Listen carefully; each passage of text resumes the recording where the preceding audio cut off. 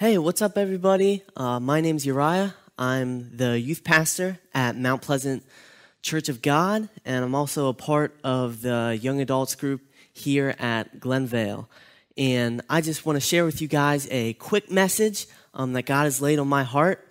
And basically, it's just about how I've um, been seeing Him move in my own life within the past few months, and especially during uh, our everything that's going on now and how how the virus has affected different things, how God has worked in me during that time also, um, and how He's been teaching me to acknowledge Him more, not in only one area of my life and not only in one part, but in every area and aspect of my life, trusting in Him and acknowledging Him. So, the scripture I'm going to share with you guys today is from Proverbs 3 5 to 6. Now, Proverbs 3 5 to 6 says this it says, Trust in the Lord with all of your heart and don't lean on your own understanding, but acknowledge Him in all of your ways, and He will make your paths straight.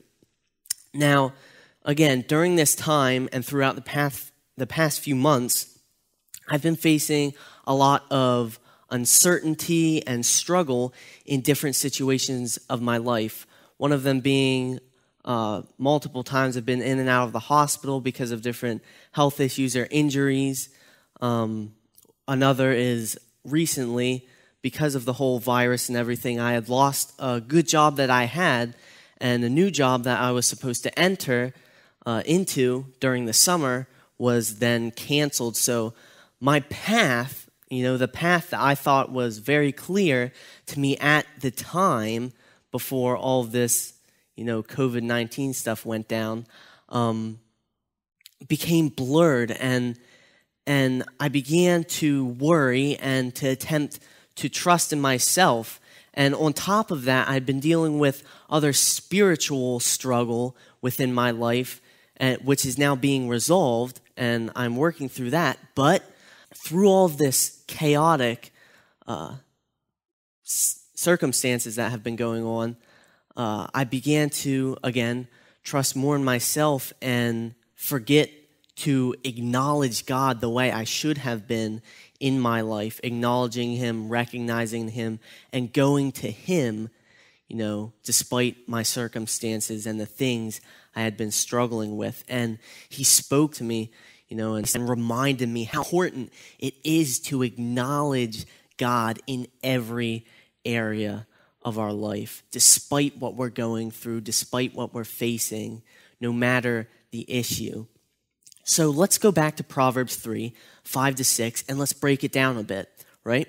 So again, Proverbs 3 5 to 6, it begins Trust in the Lord your God with all of your heart. It doesn't say, trust in me with a little bit of your heart or trust in me here and there. He says, trust in me with all of your heart, wholeheartedly trust, which means we must submit to the Lord and submit to his ways, seeking him fully in order to trust in him.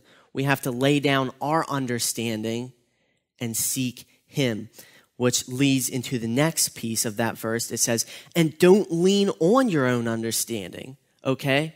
So when things are going crazy, when life might seem hectic, when maybe you lose your job or the path that you thought was clear has now become foggy, um, we're still supposed to trust in Him and we're supposed to not lean on our own understanding.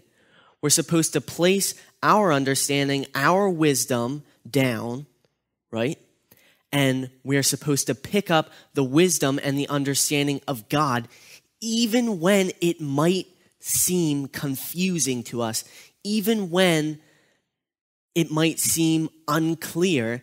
God says, lay down your own understanding. Do not trust in yourself, because if we trust in our own understanding, in the wisdom of this world, in the wisdom that we think we have, man, we're going to get lost. We're going to end up way down the road on the wrong track in who knows what. And we're going to be finding ourselves in more struggle than we would have if we would have been seeking God first. So we need to lay down our own understanding and wisdom and pick up the wisdom and understanding of God, submitting to that and seeking Him. Continuing in this verse, again, it says, Trust in the Lord with all your heart.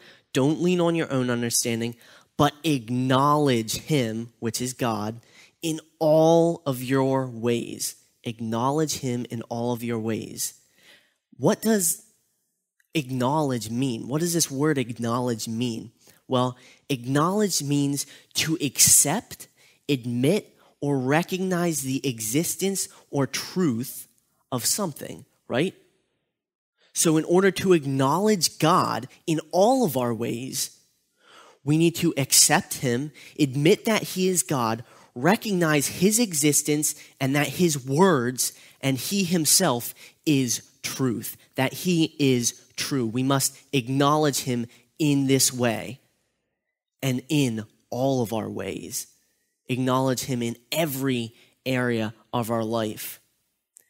We shouldn't be placing our trust, our hope, and our future in money or our jobs or our plans or maybe the people around us. Instead, he says, acknowledge me not everything else, not the chaos that's going on, because that's what Satan wants us to do. He wants us to acknowledge all of the chaos and all of the crazy things that are going on in this world, and he wants us to get all caught up in that and all, you know, lost in the in all of the chaos that's going on.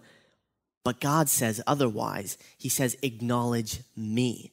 Put aside that and acknowledge me. Even though those things are loud, if you seek me, my voice is louder. I will help you. I will guide you through this, okay? Acknowledge him, accept him, admit that he is God, recognize his existence and that he is true and that his word is true, okay?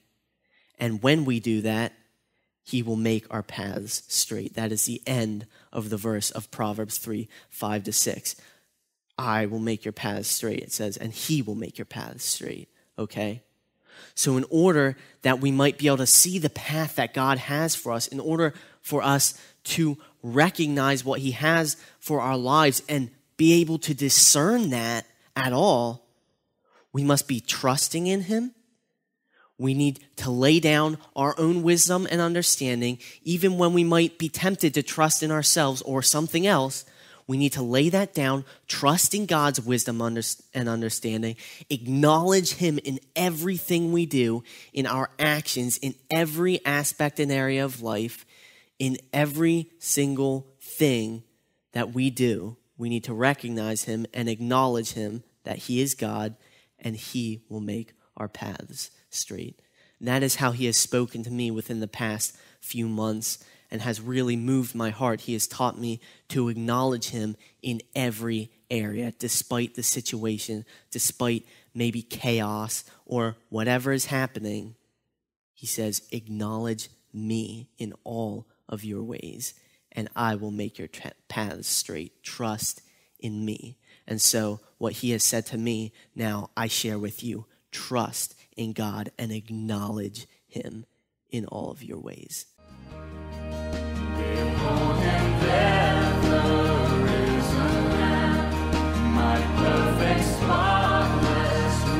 righteousness.